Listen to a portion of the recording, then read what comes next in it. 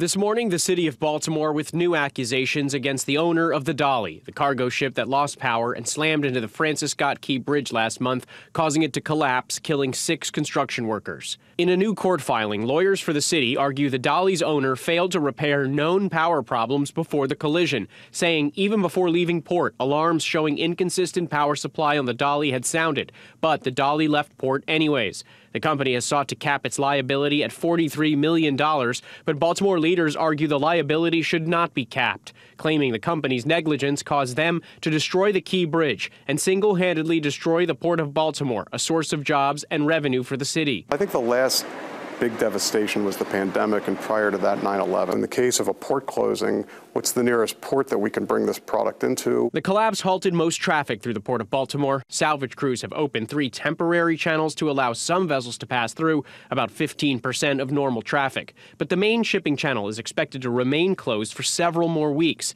As a result, experts say consumers can expect higher prices on some goods, primarily industrial products and home building products. I think that's always a certainty, to be honest. I think um, most suppliers are, are of the mindset that they have to pass costs along when, when unexpected things happen and costs increase.